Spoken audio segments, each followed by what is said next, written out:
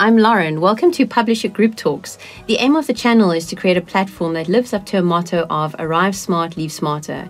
We want to educate, inform, and inspire creatives, regardless of where you are, based in Cape Town, Johannesburg, Zurich, London. We want you to be inspired by our show. And today's studio guest is Dani Turilli. Welcome, Dani. Hi, Nice to have you on the show. nice to be here. Just to give the audience a little bit of a background, um, Dani had, when he was studying, he had actually studied under me. I was his lecturer. And he, A long time ago. a long time ago, yes. And that's how we became acquainted over that period. And we've we've just stayed in touch over the years. And he did um, a first year graphic design course.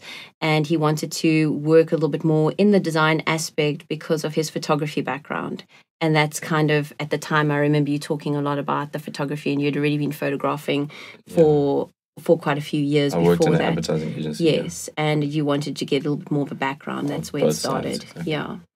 And at the moment, Dani sits a few years later, fast forward a good couple years, hey, at least 10. Yeah. yes. And he's now a fashion photographer, an advertising photographer. And he works for top brands, and he is probably one of the most amazing photographers. And it's not a bias; you just are one of the amazing, most amazing photographers that I have ever come across and worked with. Thanks. so shame all those other photographers out there Yeah, like. I'm amazing too. Yeah. yes. Some some listeners not gonna be happy. no, no, they're gonna think it's a bias thing, but you really are. And you also not just that is I think it's also the way that you work with clients because we deal with um, one or two similar clients as well mm. that have worked with you. And it's your client relationships as well. And also in that way of how you are definitely an entrepreneur and how you've developed this I would say business and your skill, and you took what is naturally your gift mm. and you worked with a natural gift. And a lot of people don't work with their natural gifts. They often are like, oh, I've always wanted to be an artist.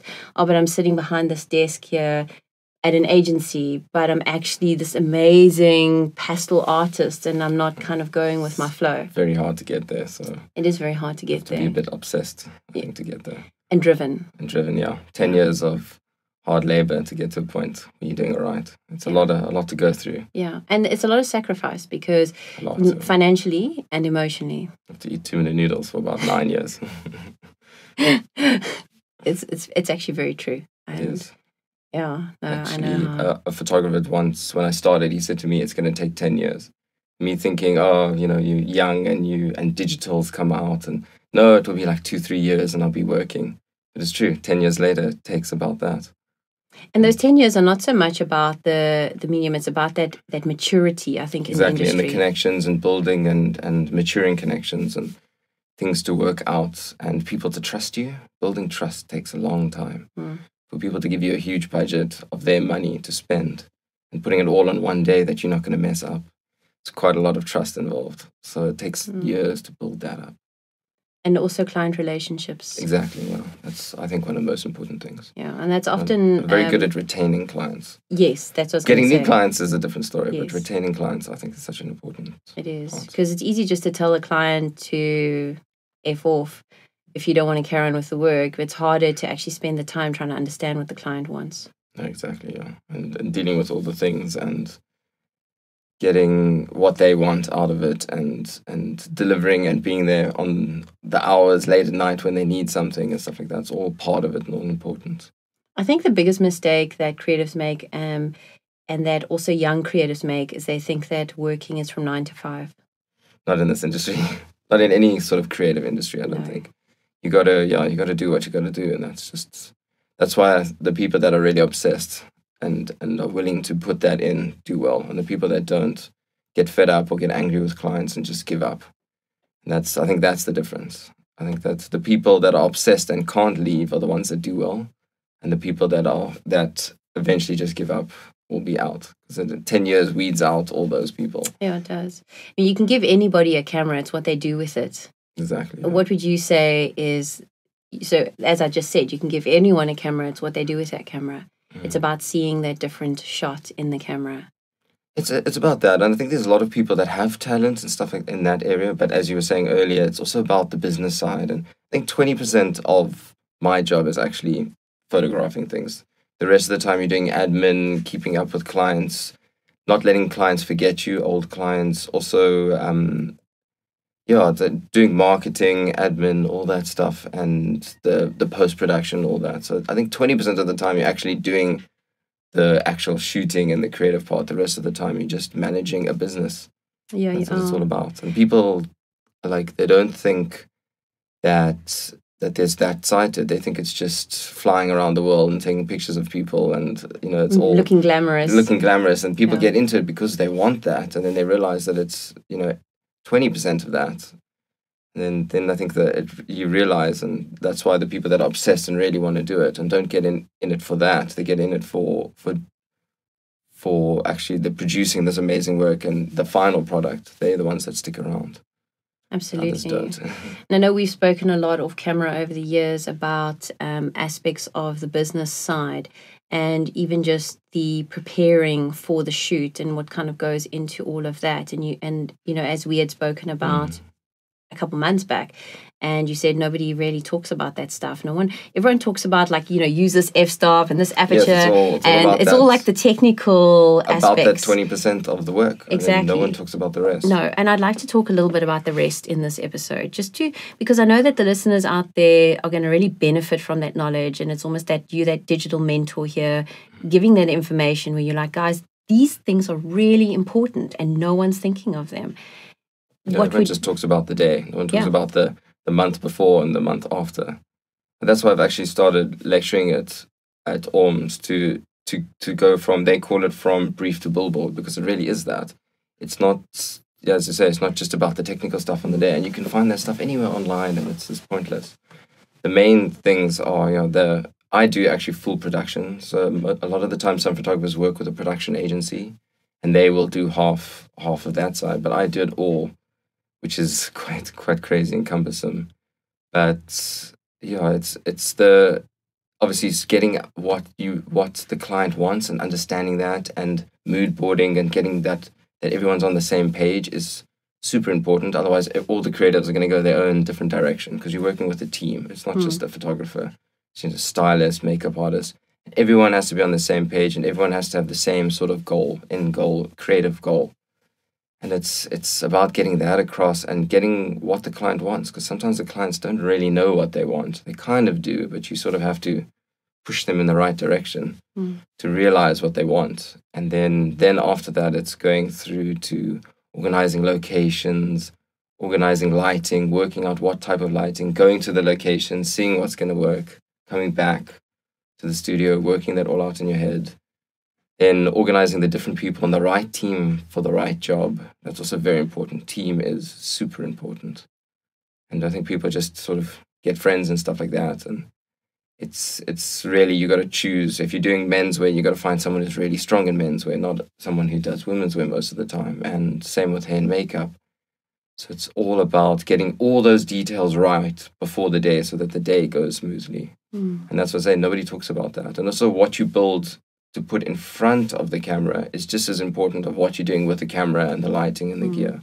Mm. People also focus so much on the other side. Mm. But never like if you put something that's not great in front of the camera, you're not gonna get even if you, you know, How would you know it's not great though? Because I'm just kind of analyzing it myself and be like, oh, I don't know. How do I know it's not great? I think that's where the creative eye comes in. Okay. I think you need to have that eye and you need to have that and I mean she's I don't half the time I don't know what's right what's wrong. And you kind of just sort of feel it and try feel it out and look at references and try um, look at the reference and look at what you're doing and try and sort of match it. And using multiple references obviously not using one that is just straight looks the same as what your reference is. It's mixing references and taking bits and pieces and sort of trying to figure it out. But it's also about the creative eye. And what you want out of it and what direction you're going in and I think that Yeah. yeah, and unfortunately some people have it, some people don't. I don't know how much I have of it. I think I'm semi creative but semi technical as well. So sometimes it helps to have your team. So most of the time the stylists are much more on the creative side. And you can Mm. sort of balance things back and don't be arrogant about it and let other people put their input in. Yeah, and help build it. Yeah, help build it exactly. I mean you can always Yeah. veto things if you really don't think that's in Mm. what you're thinking, but creative input from as many people as possible is super important. a, cre- a collaborative work Yeah, that we always work, exactly. we always speak about that on the show is also being more collaborative and allowing have to. people a, a lot of people see it as criticism or kind of infringing on your territory yeah, I think basically it's. I mean, if you're going to go into what I do, it's it's a collaboration. End of story. If Mm. you try to hold it to your own sort of creative thing, it will never work. Um, my like somebody was people were asking me, you use a retoucher. You're Mm. giving some of your creative, you know, input over to somebody else. How can you do that? And I was like, my whole thing is a collaboration. The stylist is doing their job. The makeup artist is doing their job. I'm not. It's not my work in total. It's Mm. everyone's work together. And giving that part of the retoucher, I keep the grading because I think that is quite creative and quite a part of my sort of thing is the way I use color. Mm. But then afterwards, for the retouching, the skin retouching, giving it to someone who's probably better than me actually, and they specialize in it is, I think, a better thing. It's not taking away from my creative thing and giving my work over and letting somebody else sort of draw on top of it, as people think. Mm. It's really about working with these people together and getting it all to go. and if they've got a similar vision to you then it's actually not a problem it works more in your favor you kind of have to to to mood board and to get them on the same sort of thing and it's it's also about that's why i use the same retoucher I only use one we've been working together for a long time because you sort of get your sort of stride with them and Mm. backwards and forwards until you know what both of you want and um, in more what what you want to get out of it and she sort of understands it and it's it's a bit of work to get it for you both to be on the same path Mm. and then, yeah, that's the thing with me and teams. Once you find good teams, especially in this country, actually, it's difficult. So once you find good good team members, and you try to specify them specifically, use them for what they're good at, but good good team members are hard to come by, and it takes also years to build that, and to Mm, build the yes, trust, and yeah also their personalities on set. If they could be amazing what they do, and if their personality is not great on set, people are going to be unhappy. Client might be Mm. unhappy. They might become miserable, and it just it is it's such a delicate. The day on set is such a strenuous, delicate thing that everything needs to sort of be right. And also with the client on set too which 90% of the time is what's happening client is on set yeah, most of the time. how do you deal with a client now it's on set You're shooting you've mood boarded you've done everything and they've said to you they've just gone like can we change this and this and this You got to roll the punches. It's just that's what it is. Uh, I got to shoot a lingerie shoot from Estonia without a client on set, and that was amazing. But it's happened probably once, maybe twice in ten years. Mm. You have to just roll with what what they say, and sometimes you have designers and other people on set that change things as well, and everyone wants to put their two cents in. But a lot of the time, those people haven't been in the meetings leading up to this, so they're a bit they don't understand what everyone is, you know, uh, like striving to, you know, to accomplish. They just put their two cents into what they think in that second.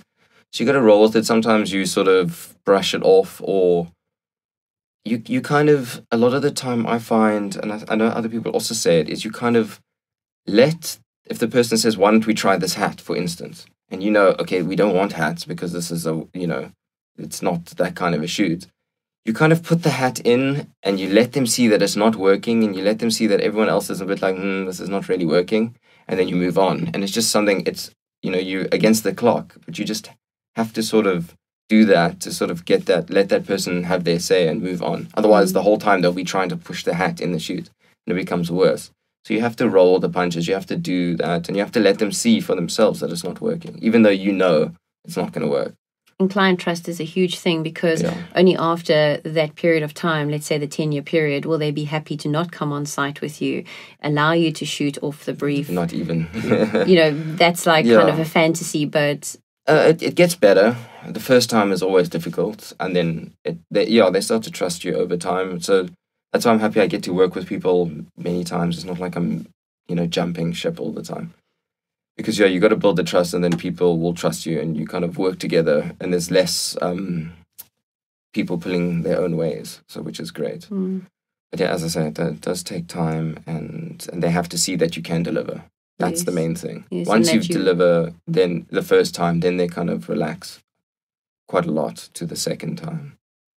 And then it's it's easier, and they stop trying to pull. Then it's more like they'll stop. They won't be as aggressive in their in their you know they would ask, "Hey, why don't we try this?" instead of like, "This should be like that." Mhm. And and sometimes they're not right either. I mean, they're hiring me to do something that they can't do. So They need to yeah, trust that. They need to trust Yeah. that, and it's a difficult thing. And some people can let go easier than other people. I mean, the only thing that a new client has to base it on is a portfolio and potentially It's a scary thing if you think about it. Yeah. Hundreds of thousands of rands that they're, um, they take a huge risk. I mean, if, especially if they work for big companies, they're taking a couple hundred thousand rand of the company's money and they're saying, we entrusting it to this guy to do a good job. If I mess it up, they're also in trouble. So, so I can understand why they're on edge until they Mm. see the final product. Mm, mm. So, And you spoke about like the before part. What about that after part? Because you also mentioned there's no one speaks about the before and the after. yeah, What's the, after? The after is all the issues that come with the post production and the things that you've missed on the day, or you didn't see that there was a pin in the hem or something like that to take out, and also client realizing that oh they needed this and oh they needed that, but they didn't tell you in the start. So it's a bit of a scramble to sort of get that. Sometimes you have to tell them, listen, unfortunately we didn't do it because it wasn't Mm. in the brief or whatever. Because a lot of time when they actually action the the pictures into their campaigns and stuff, they realize, oh, actually, we needed this. And sometimes you can make a plan and Photoshop things in or, or take things out, and other times they just have to change their idea a bit. But it's it's a lot of backwards and forwards, and obviously they want the pictures tomorrow. Mm. And there's a lot of, I mean, just going through editing to edit down. I mean, our last shoot the other day, we shot a day and a half, which is not normal. Normally we shoot at least always full days but we had to wait for a, a racing car, so we had to get another half day. We shot two and a half thousand images. To now sit through and go from two and a half, we went from two and a half thousand images to 500 images. I work with my digital assistant, which is Susie, also my girlfriend, luckily. But it's it's hours and hours and hours of narrowing down images to the best ones. I mean, shooting. Yeah, I did shoot quite a lot. Uh, you try actually going back to shooting film helps you stop shooting two and a half thousand images, but it's very easy. But it, but at this point, we had eight guys um, working on a car. They were all like a pit crew, and eight male models on a day that was a bit warm, wearing helmets and gloves, which they were, and full suits. They get a bit like, oh, it's warm, and then in between shots they take gloves off, and then they don't forget they forget to put them back on, and then that that cuts out that shot. So that shot we can't use because the one out of the eight guys is not wearing his gloves, or they had visors and they would put their visors up because it's hot, and then one guy would have his visor up, and then that kills that shot. So it, that's why I was shooting two and a half thousand images. You got to go through and look at each of the eight guys and narrow down. That takes hours, and client doesn't really understand that. I actually Mm. sometimes sit with client and go through there. Well, I narrow it down. We narrowed it down to 500. And then you sit with someone and you go through 500 images and they realize how cumbersome that is. Mm. I think that kind of slowly, slowly they start to realize that you can't have it the next day. Then you push time over and then retouching and fixing all those issues. That also takes time and it's backwards and forwards and changes. Yeah, it's a lot of And work. that's a lot of work and a lot of communicating with client and hopefully clients around to actually answer these questions that they want because they know what it needs, Yeah. what needs to be done. And that there's a lot of work in that, and that's where I think a lot of people fall short. So you've done this great shoot, you've done the great pre-production, and then it comes to post-production, and you're a bit over it and ready to move on to the next thing. But you need to, to supply that service to the client, and that's where a lot of people actually get angry with the client because they do sometimes ask for silly things, but you just have to do it. And that's where I think a lot of people lose. I know some video guys that I've worked with, they've lost the client because when it comes to the editing, they get a bit irritated and clients messing around because clients do that. But you just gotta, Mhm. You gotta They just, just see- it's gonna always be like that, and it always has been Yeah, like that. there's So- nothing you can do about all the reverts that come back. You know, you can try and mitigate that in your budgets and Yeah, make sure that you've compensated. and you say that you will have three revisions, and then it will be, you know, charged, which is fine, and they they still will do it. yeah, and they they'll will- still do five or however many. And And, they, then they realize that they've got to pay, and hopefully that just narrows it. I mean, stops them going crazy, but still, it's going to happen, and that is when I think a lot of people lose their client because the client then the last dealings they have with them, they've been left with a bitter taste in their mouth. So when it comes to the next shoot, they were like, hmm. The end and trying to get the images or the video and trying to, you know, sort of wrap it up was so terrible, and I had so got so much flack that I actually rather not deal with this person, and that's where the the the 10 o'clock oh, i've actually literally had we need this picture done by Mm. 10 o'clock tonight because tomorrow it's being printed. And it actually was printed four meters in front of a store the next day, and I went and saw it. So sometimes those things happen, and you got to ra- rise to the Mm. occasion, or they're not going to use you. And that's where it matters. When you drop them, when they need that image to be printed the next day, that could literally, you know, lose the client. You could lose the client from that. Mm. That's the thing is you got to, as I say, you got to be good in the pre, on the day, and in the post, and it's the full service, and it's however long it takes, and that's just it. Yeah, and it's not, it's never easy. And it's the going over and beyond that the client will appreciate and want to work with you again, and that's where I retain clients and. Well, you know, when they phone me like, listen, I need I need help. You need to give me this image by ten o'clock. I make it happen, and that's that's what makes me stand out from the rest of the people who are like, oh no, I don't have time for this. Sorry. So Yeah, and that and that attitude is not an uncommon attitude in the creative industry. I mean, in any industry so, anyway. But we know we're talking in the creative industry. So many creatives are quick to say like, "Get rid I- of the client." I get angry. A lot of the time, I, I get so. Um, my studio partners hear me ranting and raving almost every day, but you just, you know, rant, let it out, and you you just get back to doing. it. You never rant to the client. That's the thing. yeah, you you got to wait till you calm down before replying to emails and stuff like that.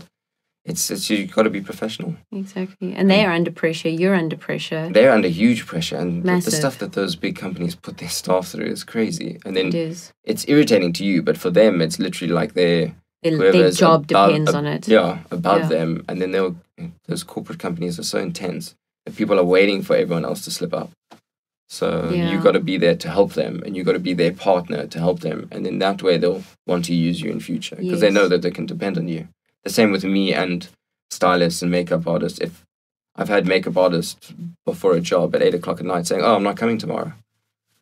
And then i'm like what am i going to do now? I got to you know phone and beg people to come tomorrow to help me out. And i won't work with those people again because i know that they're not They're not i can't trust them and i can't rely on them to i'm under huge pressure the night before and the days before organizing all these things and there's always things that go wrong. And when everything's going wrong and, and then someone phones you and say well i'm not coming tomorrow for no good reason you're just like "Well, screw you then. I'm not going to use you in the future. And then they phone me after saying hey why aren't you using me? You know why aren't we working together? And it's just like you know you can answer that question for yourself. It's the same thing with you and the client. When you then client phones you and you know asks you for a favor and you don't you're just like oh i couldn't be bothered or irritating then they're gonna you know when the next week comes along they're not gonna wanna it's gonna be the same Yeah, they're going to look so somewhere else. that is the important thing you need to follow through all the way to the end and that's the only way to retain clients Mm. it's very hard to get in the door but i think a lot of people can get in the door but they can't they don't follow up and they don't retain clients and that's the thing i struggle because i'm not very aggressive in my approach to get in the door but once i'm in the door i keep clients there's very few clients that i haven't retained other than it being a budget or some other reason but never from oh i just don't like working with that person Mm. Which is i always pride myself on that it's it's very important. and there's not that many clients do in this country that you can just mess up and jump ship and get another client and then you know if you do that within like a year or two you'll be out of options Yeah. so i think it's it's a very bad habit and a bad way to look at it And what about keeping up with um, technology changes in the equipment? Although we're not talking exactly about settings or specifics. no uh, it's important it's important to understand what you what what kind of work you're doing and what kind of gear you need for that work. There's no point in going out and buying the best stuff when you really don't need it. So like wedding photographers going out and buying crazy sen- huge sensor cameras to shoot billboards. It's it's not going to be used for that. But in my case, I am shooting, you know, some of the I think the Mall of Africa. I think it's eight meter size print in the window. So I need to have. I had to go now and buy the new Nikon D850 with almost 50 megapixel sensor because it needs to be printed that big and it needs to have that quality. So you need to keep up with that. Even though the, the last cameras I was using were, were fine, but this one, I actually had it the other day. The client wanted to crop about 20% of the picture out. And if you don't have the megapixel, the, the right sizes, when you crop that out and you want to print it eight meters big, it's going to be pixelated and look terrible. So they oh, you need to keep up with technology and you need to have these things so that when client does pull some ridiculous thing, which is always going to happen, you can at least compensate for that or you have the megapixels or whatever. Mm. But as I say, well, as I've said before, I, I shoot quite lean. So I have a lean gear set up, a camera with a lens. You don't need all like so much stuff, but but you but you learn over time what you need. And when you need to, when you realize there's a need, you need to go out and and buy those things at the exorbitant prices that they Yeah. are. But you got to do it. It's just part of it's a cost of business. You have to run it, this thing. You need to run exactly like a business. And business advice for any creative. What is your key business advice, regardless of the genre? Because business advice is business advice. Jeez, yeah, yeah, I don't know actually. Um, never thought of that, but you have to you have to know about business and you have to run it like a business, even though it's a creative thing. It's very important to be professional and business-like. And what I do is I'll speak to clients in like a, um, you know, email them or speak to them on the phone about normal things in like a nice, fun, joking way. But when it comes to invoices and stuff, you have a sort of business strictness about it. You need to sort of separate your, you know, building relationships with the client and then the financial side. So the way I write an email of a, hey, how are you doing? I think we should, you know, get this model or do this or stuff um, is written in one way. And then when I say, you know, dear so and so, here is the invoice with the outstanding amount. You you have different different sort of voices for different parts of your business, and you have to keep that business side business because dealing with freelance and um, and money and invoices, especially in this country, is a nightmare. And you need to be very strict and businesslike about it, or you're going to land up in trouble with invoices that are six months old and no one paying. And and so you don't want to to destroy your your relationship with clients if you get stroppy about oh you haven't paid my invoice. So keeping that separate and keeping that very professional, I think, is a good is a very important you know tip on the business side. Um, what else? Uh, interesting. In terms and conditions, you know, because when Yeah, you go into a contract, in terms of terms and conditions, have you ever used any legal advice to have terms and conditions drawn up, or have you I found that you've kind of made? do. I kind of I kind of write things out in entirety in emails and make sure that that that things are written out in emails and on writing. So sometimes if you phone and then they say something and you like and you you write it on email or you reaffirm it. Hey, listen, we're gonna get this Ferrari for this much amount of money per day. Are you happy with that? And just just make sure that before you get yourself into um, you know hiring something out that they don't actually want or they didn't really have budget for. It's literally have everything in writing, get them to okay it. Don't do anything until things have been okayed and said in writing. Otherwise, you can land yourself up in you know in a bit of troubles. But I think that's also very important. And I don't think about it, but I actually do that quite a lot. And it's always making sure, double checking all those things, and in writing is very important. Hmm. No, it is. Do you ever get deposits for jobs? Yes, yeah. So now I work with. Um, I've been burnt once before, and uh, I now get at least fifty percent upfront before I do anything. Because, uh, especially when you're doing productions, you can land yourself up with huge bills that will could tank your business of like hundreds of thousands. Mm. Um, so it's, it's it's very important to to get the deposit. And some clients you work like when I work with these big companies that I have years of history with, sometimes the deposit doesn't actually arrive before the day, which is which is a problem. And it's just unfortunately they sometimes they cannot do that. You shouldn't um, you shouldn't stop your thing about it, but but if it's a new client, I would say fifty percent deposit or or no shoot. It's kind of you have to be strict on that because I've heard and I've been in situations where it's become a problem. Yeah. So I think and people respect it. I actually Yeah. surprisingly I always get a bit nervous. You send that email and you think, ooh, you just had this like dance of getting to know each other and you know get this job and then you have to send this horrible like 50% deposit or no shoot kind of Yeah. but that's why i say you need to use that language in that Yeah. email And fortunately, for the ones where you did burn your fingers, they're never huge amounts. They're always kind of learning. that's when you yeah that's when Yeah. you you're like oh it's not a big amount am i Yeah. gonna do i really feel like sending this horrible email because i feel Yeah. i mean it's it's hard to separate your emotions from those things but you need to try Yeah, that also comes down to the business aspect of it. exactly you need to be a businessman as well that's super important Otherwise, you won't survive. fortunately not you'll get burned too many times and i've heard people especially creatives and they want to be nice and they want to be you know helpful to No. clients because you eh, to get a client you you're excited and you want to do it and you're willing to you know negotiate and drop things but there's certain things you need to stick by otherwise Yeah. you might actually lose your business At the end of the day, sometimes trying to drop the price for the client comes back to bite you Oh, because yeah, you'll end up doing already on what you've costed.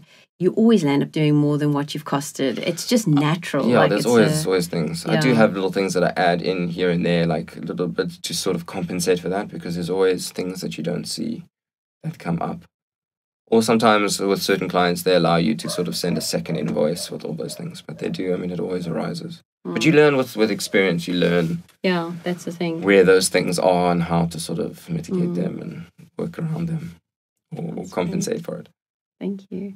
Thank you so much. And just to wrap up the show, we always end with something sort of random and we ask you a random question or I ask Uh-oh. you a random question. but it's usually fun. So, my random question to you is because you have an Italian background, yeah we know Italians love food. I mean, my stepfather's Italian, so Mm. I know all about that. What is your favorite food?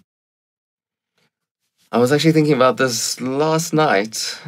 Definitely, I'm growing up in as Italian. I would would say Italian food and father's cooking, but I also love Japanese food. Oh, really? yeah. What is your favorite meal there?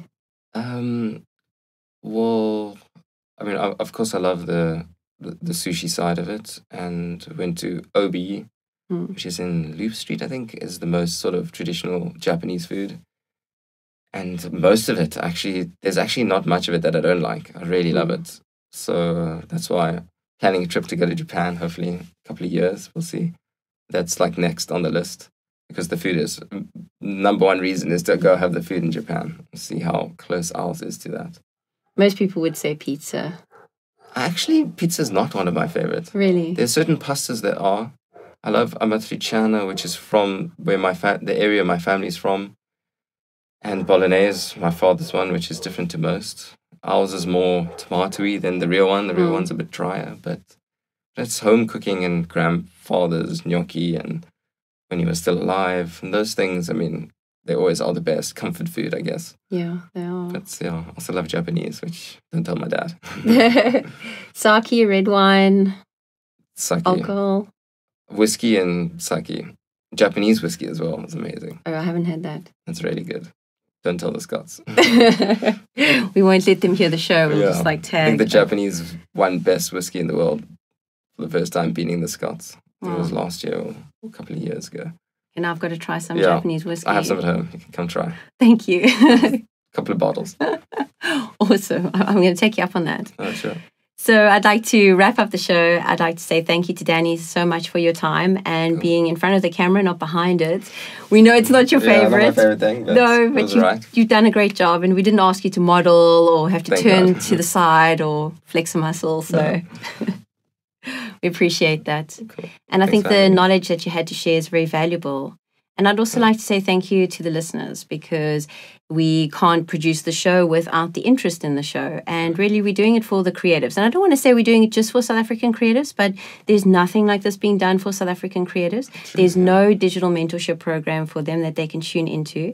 It's not just that this episode is relevant for photographers or that another episode we did uh, with, let's say, law or animation is relevant just for that genre Yeah. if an individual listens to the show, it's holistic. It provides them with a very good all rounded approach to business, work ethic, creativity, and really pushing beyond the boundaries of their own fear and doing something that they feel passionate about and we feel passionate about. It's great that we have a, finally a local thing because I watch things and Yeah. listen to things and it's all overseas and talking with their law and their money. It's it's it's completely different. yeah, and it doesn't relate to There's us. some that does, some parts of it that does, and other parts not at all. And obviously, Americans are different to us and totally different and Europeans, and so we have our own ways of doing things here. So it's I important. know. I think it's very important. And I just want to say thanks. Share it, like it, and tell another creative sitting next to you at the office or a friend about the show because we want to educate, inform, and inspire. High five.